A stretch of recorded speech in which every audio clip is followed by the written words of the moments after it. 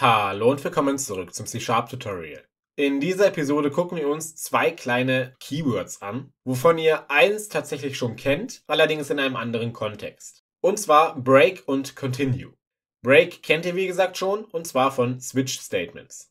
Break hat hier in dem Kontext, den wir uns gleich angucken, eine recht ähnliche Bedeutung, allerdings bezogen auf Schleifen. Also wir gucken uns beide Keywords jetzt bezogen auf Schleifen an. Und zwar habe ich noch das Programm von der letzten Episode, das ist ja quasi so ein kleines Ratespiel. Wir setzen hier eine Zahl als Lösung fest und das Programm läuft so lange, bis der Nutzer die Lösung erraten hat. Also, nochmal kurz gezeigt, wenn ich hier irgendwelche Zahlen eingebe, dann geht es immer weiter. Wenn ich eine 50 eingebe, dann hat man gewonnen. Okay. Das Ganze haben wir in der letzten Episode schon verschiedenartig gelöst. Am Anfang haben wir es relativ, ich nenne es mal dämlich gelöst mit einer Y-Schleife, wo wir dann Code mehrfach stehen hatten. Dann haben wir es mit einer Do-While-Schleife gelöst und jetzt hier mit einer While-Schleife und einem zusätzlichen Boolean. Diesen Boolean können wir allerdings auch weglassen. Das mache ich jetzt einfach mal. Ich lösche ihn. Hieraus machen wir jetzt im Prinzip eine Endlosschleife. Und das funktioniert, indem wir einfach ein True reingeben. Denn True kann niemals False sein. Ich glaube, da stimmt ihr mir alle zu. Also wird diese Schleife theoretisch nie enden. Zumindest nicht mit dem Wissen, das ihr bisher habt, denn gleich zeige ich euch, wie wir sie doch beenden können. So, und jetzt setzen wir hier nicht mehr is guess correct auf diese Bedingung, denn die Variable gibt es ja hier nicht mehr, sondern wir machen daraus eine if-Abfrage. Also wir überprüfen, ob unser guess gleich solution ist. Und wenn das der Fall ist, dann wird es uns hier schon vorgeschlagen, dann sagen wir break. Und break hat hier im Prinzip die gleiche Bedeutung wie bei switch statements. Und zwar brechen wir aus unserem Block raus. Wichtig an der Stelle ist, dass es immer den innersten Block meint, aus dem man ausbrechen kann. Unser if hat ja auch einen Block, allerdings kann man aus einem if nicht mit break ausbrechen. Switch ist da so ein bisschen die Ausnahme, da kann man ausbrechen, beziehungsweise muss man sogar. Bei if funktioniert das nicht, deswegen bezieht sich dieses break jetzt auf unser while hier.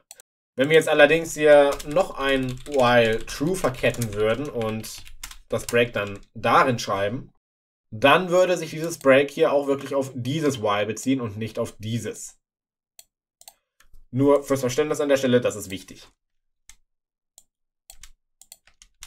Okay, im Prinzip haben wir ja jetzt an unserem Programm nichts verändert, außer dass wir auf unseren Boolean verzichten.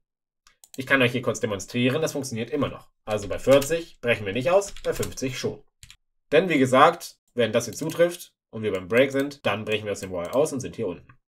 So, das ist das eine Keyword. Das andere Keyword funktioniert genau in die andere Richtung. Und zwar ist das Ganze Continue. Und das hat jetzt eine komplett andere Bedeutung. Das heißt, wir zerstören jetzt quasi unser Programm damit. Also ich schreibe das Programm jetzt einfach mal ein bisschen um, damit ich Continue daran erklären kann. Ich mache hier unsere Variable Solution weg und sage dann hier console.writeLine soll etwas ausgegeben werden, Fragezeichen also das Programm, was ich jetzt hier schreibe, ist nicht sonderlich sinnvoll, sondern soll einfach nur hier dieses Continue demonstrieren. Dann geben wir hier etwas ein.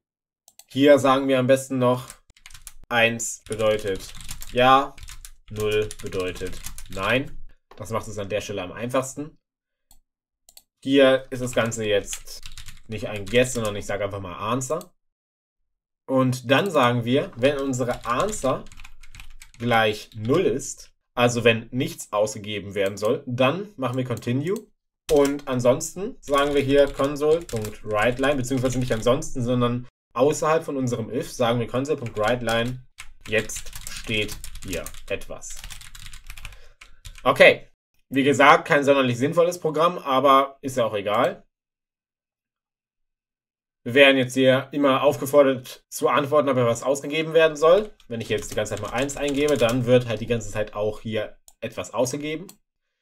Wenn ich jetzt mal eine 0 eingebe, dann seht ihr, dass das Ganze nicht passiert. Und das ist erstmal ein bisschen komisch, denn im Prinzip hat diese if hier ja keinen Einfluss darauf. Denn wenn answer 0 sein sollte, okay, dann wird das, was in der if ist, ausgeführt, aber danach geht es ja hier unten weiter. Ja, und genau das ist die Bedeutung von diesem Continue. Continue bricht den Schleifendurchlauf ab. Allerdings fliegen wir nicht aus der Schleife raus, sondern beginnen wieder von oben. Also Continue startet einfach den nächsten Schleifendurchlauf.